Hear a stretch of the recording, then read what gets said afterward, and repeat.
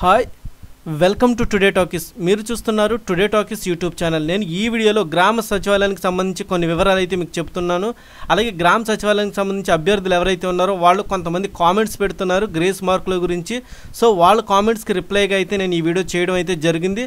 కొంతమంది BC candidates అయితే మాకు టెన్ పర్సెంట్ ఉంది. అలాగే గ్రేస్ మార్క్స్ ఫిఫ్టీన్ మార్క్స్ కలిపి మొత్తం ముప్పై మార్కులకి అయితే జాబ్ వస్తుందా అని అడుగుతున్నారు. అయితే బీసీలకి ముప్పై మార్కులకి జాబ్ వస్తుందా అనేది ఈ వీడియోలో అయితే మనం క్లియర్గా చూద్దాం.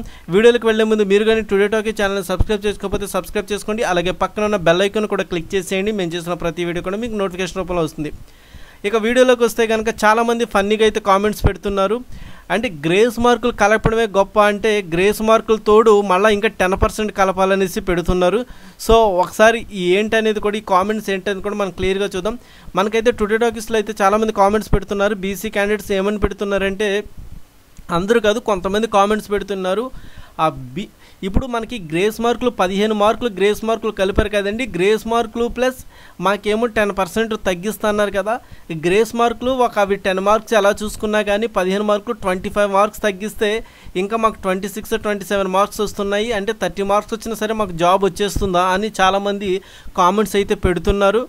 అస్సలు అట్లా అలా లేదండి. అది అంతా అబద్ధం అది. అలా జాబ్ అయితే రావడం ఉండదు. ఎందుకంటే ఆ టెన్ పర్సెంట్ బీసీ ఓసీలకు టెన్ పర్సెంట్ కేటాయింపు కట్ ఆఫ్ మార్కులు అయితే తగ్గిస్తారనేసి మనకు చెప్పడం జరిగింది గతంలో అయితే. అది అధికారులు కూడా వినతి పత్రం అయితే అందజేశారు. బట్ అది ఇప్పటి వరకు దాన్ని అయితే ప్రవేశపెట్టలేదు. కాబట్టి దానికి బదులుగా ఇప్పుడు ఏంటంటే పదిహేను మార్కులని గ్రేస్ మార్కులు అంటే టెన్ పర్సెంట్ కన్నా ఎక్కువగా మనకి ఇప్పుడు పదిహేను మార్కులని గ్రేస్ మార్కులుగా కలిపి జాబ్లు అయితే ఇవ్వడం జరుగుతుంది. ఆ టెన్ పర్సెంట్ పదిహేను మార్కులు గ్రేస్ మార్కులు కలపగా ఎవరైతే క్వాలిఫై అవుతారో వాళ్ళకి మాత్రమే ఇప్పుడు జాబ్ అయితే ఇవ్వడం జరుగుతుంది. సో గ్రేస్ మార్కులు ప్లస్ మళ్ళీ ఇంకొక టెన్ పర్సెంట్ తగ్గించి ఇవ్వాలంటే కనుక అది అలా కుదరదండి అది పాసిబుల్ కాదు. ఓకే అట్లా అలాంటి దానికి బదులు ఇంకా కొత్త నోటిఫికేషన్ అయితే పెడతారు. అసలు అది చాలా ఫన్నీగా కూడా ఉంటుంది వినడానికి. ఎందుకంటే ఇప్పుడు మనకి పదిహేను గ్రేస్ మార్కులు కలప కలిపిన తర్వాత కూడా ఇంకొక టెన్ మార్క్స్ కలపడం అంటే ఇంకా అలాంటప్పుడు ఇంకా నార్మల్ ఇంకా అందరికీ ఆల్మోస్ట్ ట్వంటీ ఎవరో తక్కువ క్యాండిడేట్స్కి ఒకటి రెండు వస్తాయి కానీ చాలామందికి ఇక్కడ ట్వంటీ ట్వంటీ ఫైవ్ వస్తాయి అందరికీ జాబ్లు ఇవ్వాలి అప్పుడు. సో మనకి పోస్టులన్నీ కూడా సరిపోవట్లా అయితే. సో అలా అయితే ఇక గ్రామం వంటి లెక్క వస్తుంది ఇది కూడా. సో కాబట్టి నేను చెప్పేది ఏంటంటే గ్రేస్ మార్కులు కలుపుతున్నారు ఇప్పుడు. ఎవరికైతే గ్రేస్ మార్కులు కలఫ్గా క్వాలిఫై అవుతారో మీ యొక్క కేటగిరీలకి తగ్గట్టుగా క్వాలిఫై అయిన వాళ్ళకి మీ యొక్క కేటగిరీలో ఉన్న పోస్టులకి తగ్గట్టుగా అయితే జాబ్ అయితే ఇవ్వడం జరుగుతుంది. క్వాలిఫై అయిన వాళ్ళందరికీ కూడా జాబ్ కూడా రాదు. క్వాలిఫై అయిన వాళ్ళకి జాబ్ గ్యారంటీ అన్నాను కదండి జాబ్ అందరికి వస్తుందని పెట్టారు.